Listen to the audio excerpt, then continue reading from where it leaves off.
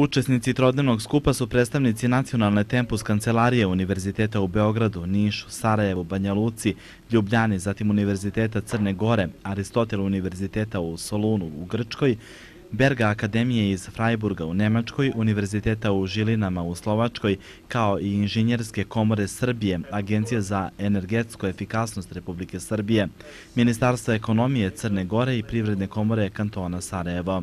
Skup je otvorio direktor Državnog univerziteta u Novom pazaru i koordinator ovog tempus projekta, profesor dr. Ćemal Dolićanin. Poželeo je dobrodošlicu učesnicima ovog značajnog projekta, čiji je nosilac Državni univerzitet u Novom pazaru. Rektor ove visokoškolske ustanove, profesor dr. Miladin Kostić, rekao je da je imajući u vidu ograničene energetske resurse i prekomernu potrošnju energije, očekivano da to pitanje postane jedna od najaktuelnijih tema u svim državama sveta i da je samim tim od posebne važnosti što je u izuzetno velikoj konkurenciji Državni univerzitet u Novom pazaru izabran da bude nosilac projekta.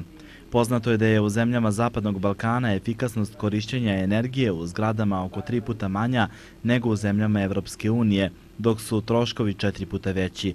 Zbog toga je korišćenje energetski efikasnih tehnologija od izuzetnog značaja, a formiranje studijskih programa iz ove oblasti treba da obezbedi nove profile stručnjaka potrebnih tržištu rada.